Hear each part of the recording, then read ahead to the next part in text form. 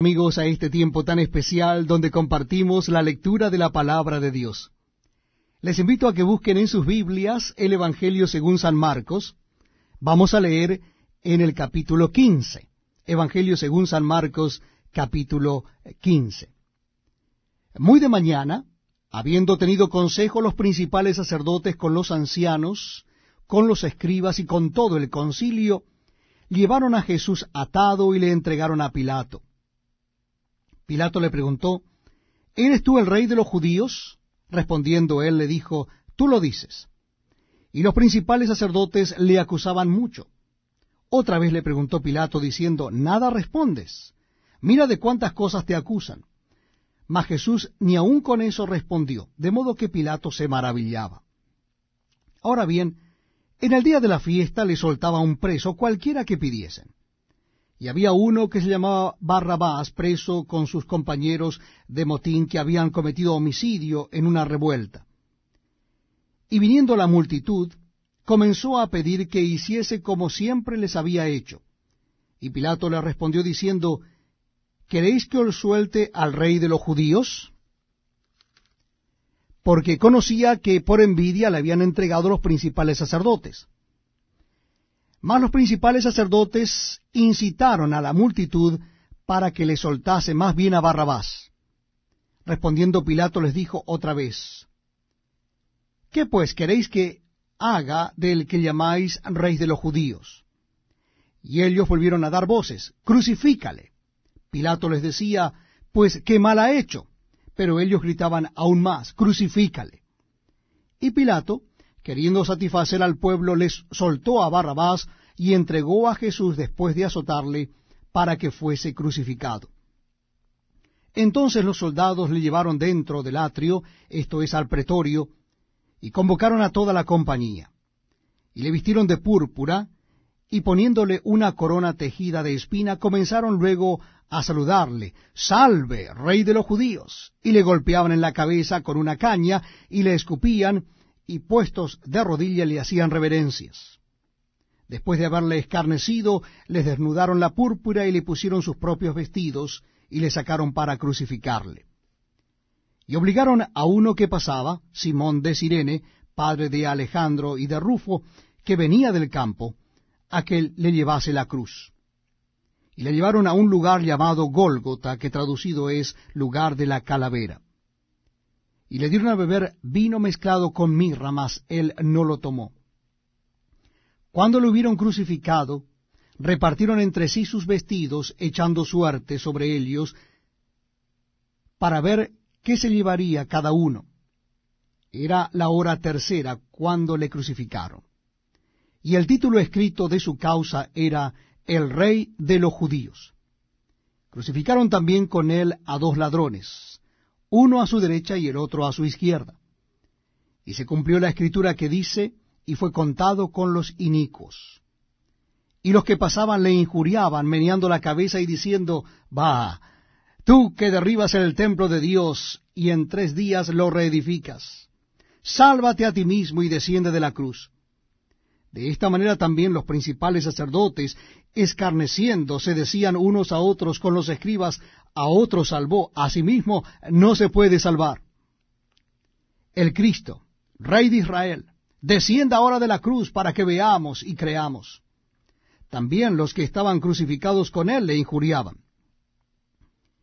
Cuando vino la hora sexta, hubo tinieblas sobre toda la tierra hasta la hora novena. Y a la hora novena Jesús clamó a gran voz diciendo, Eloi, Eloi, lama sabactani que traducido es, Dios mío, Dios mío, ¿por qué me has desamparado? Y algunos de los que estaban allí decían al oírlo, mirad, llama a Elías. Y corrió uno y empapando una esponja en vinagre y poniéndola en una caña le dio beber, diciendo, dejad, veamos si viene Elías a bajarle. Mas Jesús, dando una gran voz, expiró.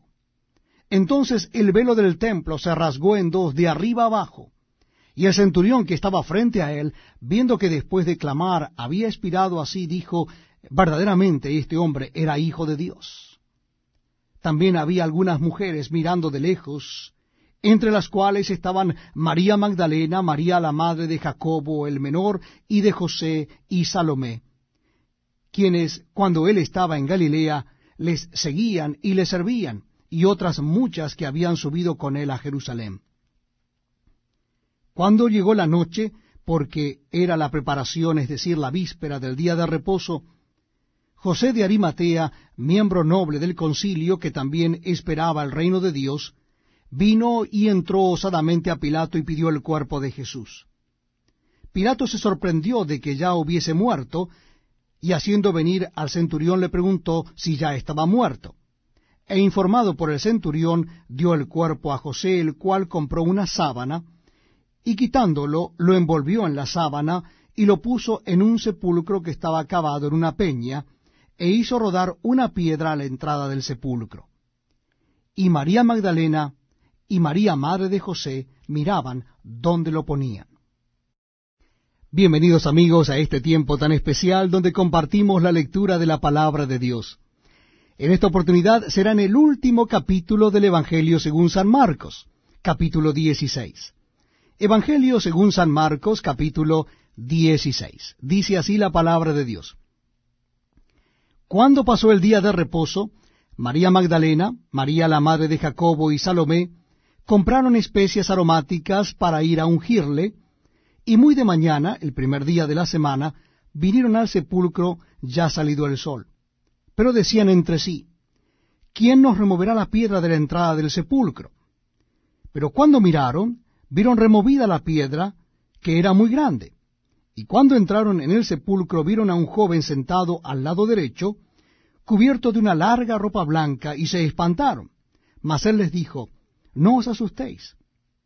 Buscáis a Jesús Nazareno, el que fue crucificado, ha resucitado, no está aquí. Mirad el lugar en donde le pusieron. Pero id, decid a sus discípulos y a Pedro que él va delante de vosotros a Galilea. Allí le veréis como os dijo.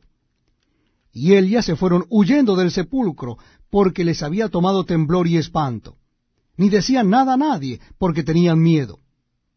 Habiendo pues resucitado Jesús por la mañana, el primer día de la semana, apareció primeramente a María Magdalena, de quien había echado siete demonios. Yendo ella, lo hizo saber a los que habían estado con él, que estaban tristes y llorando. Ellos, cuando oyeron que vivía, y que había sido visto por ella, no lo creyeron. Pero después apareció en otra forma a dos de ellos que iban de camino yendo al campo. Ellos fueron y lo hicieron saber a los otros, y ni aun a ellos creyeron.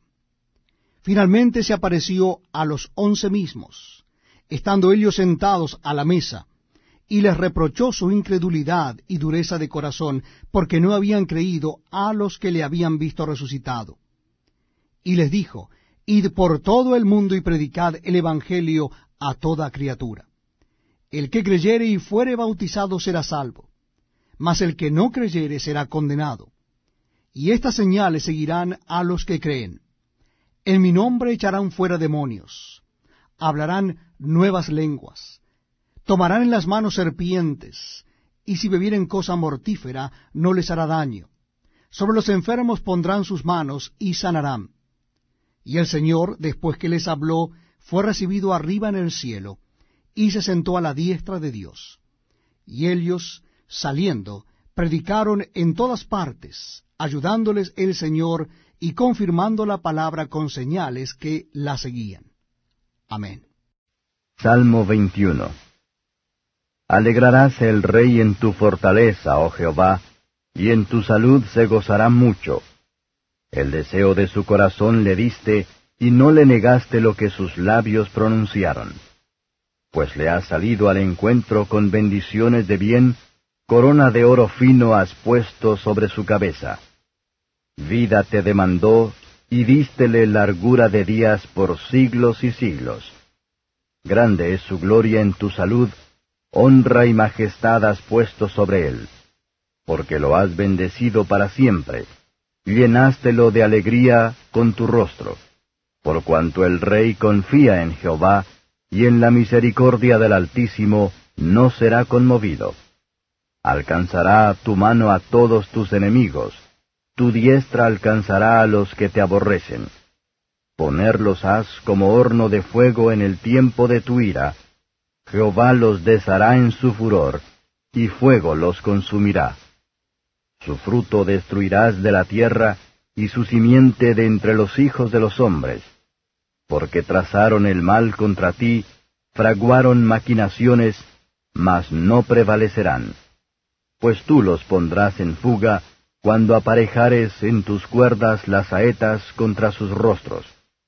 Ensálzate, oh Jehová, con tu fortaleza, cantaremos y alabaremos tu poderío.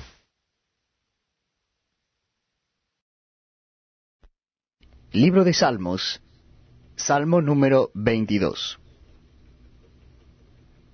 Dios mío, Dios mío, ¿por qué me has desamparado?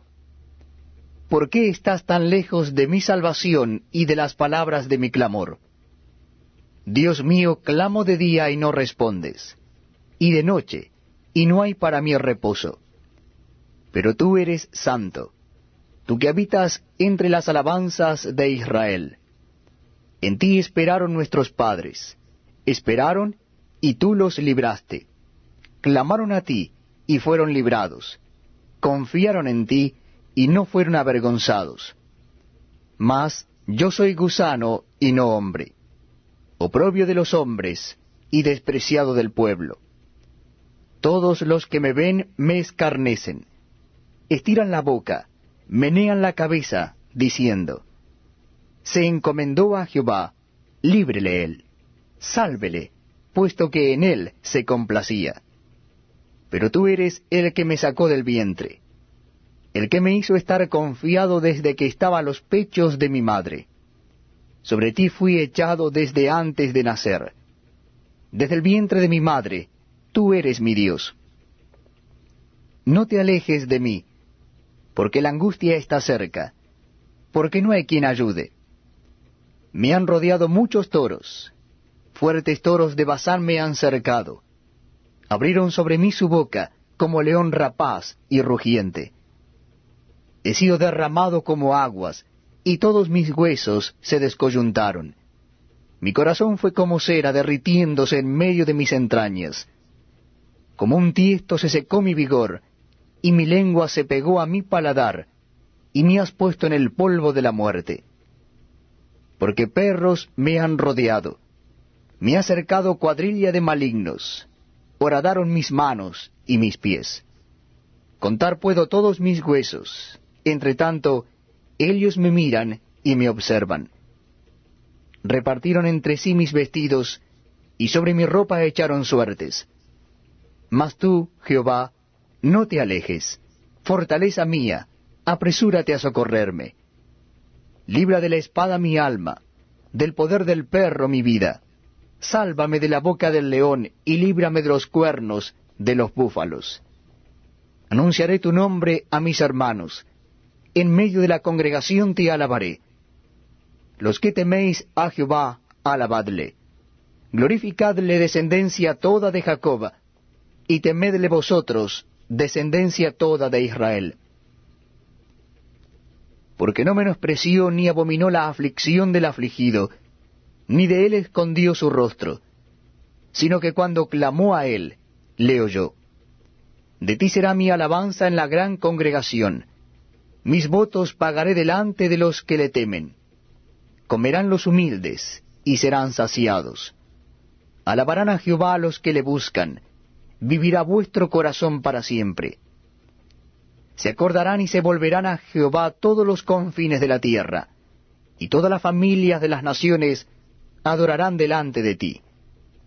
Porque de Jehová es el reino, y él regirá las naciones comerán y adorarán todos los poderosos de la tierra.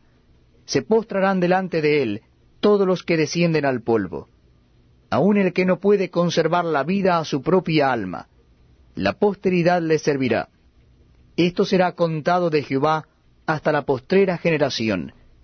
Vendrán y anunciarán su justicia. A pueblo no nacido aún, anunciarán que Él hizo esto. Libro de Salmos, Salmo número 23. Jehová es mi pastor, nada me faltará. En lugares de delicados pastos me hará descansar. Junto a aguas de reposo me pastoreará. Confortará mi alma. Me guiará por sendas de justicia por amor de su nombre. Aunque ande en valle de sombra de muerte, no temeré mal alguno, porque tú estarás conmigo. Tu vara y tu callado me infundirán aliento. Aderezas mesa delante de mí en presencia de mis angustiadores. Unges mi cabeza con aceite, mi copa está rebosando. Ciertamente el bien y la misericordia me seguirán todos los días de mi vida, y en la casa de Jehová moraré por largos días. Libro de Salmos, Salmo número 24. De Jehová es la tierra y su plenitud, el mundo y los que en él habitan, porque él la fundó sobre los mares, y la afirmó sobre los ríos. ¿Quién subirá al monte de Jehová? ¿Y quién estará en su lugar santo? El limpio de manos y puro de corazón, el que no ha elevado su alma a cosas vanas, ni jurado con engaño. Él recibirá bendición de Jehová y justicia del Dios de salvación.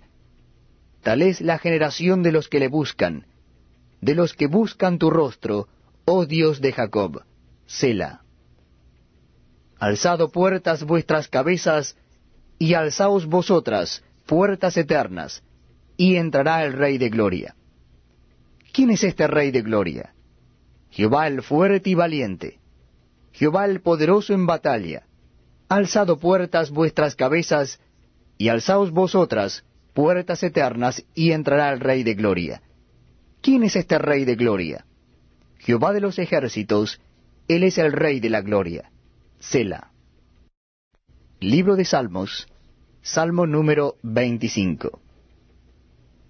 A ti, oh Jehová, levantaré mi alma. Dios mío, en ti confío. No sea yo avergonzado, no se alegren de mí mis enemigos. Ciertamente ninguno de cuantos esperan en ti será confundido. Serán avergonzados los que se rebelan sin causa. Muéstrame, oh Jehová, tus caminos. Enséñame tus sendas. Encamíname en tu verdad y enséñame, porque tú eres el Dios de mi salvación. En ti he esperado todo el día.